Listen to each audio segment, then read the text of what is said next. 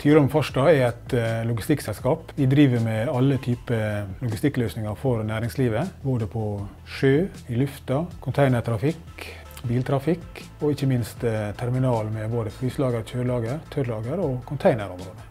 Totalt sett er vi 43 ansatte og er lokalisert her i, i Ålesund. Våre kunder velger oss fordi vi har et bredt spekter av tjenester.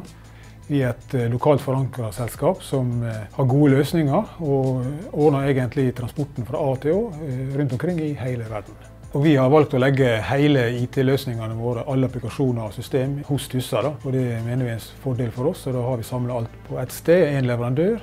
Den monterer alle, alle systemene for oss, og det syns vi er en, en, god løsning og veldig betryggende for, for oss.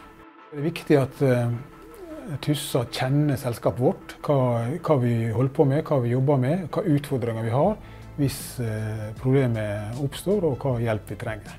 Og Det får vi i stor grad når vi har valgt Tyssa.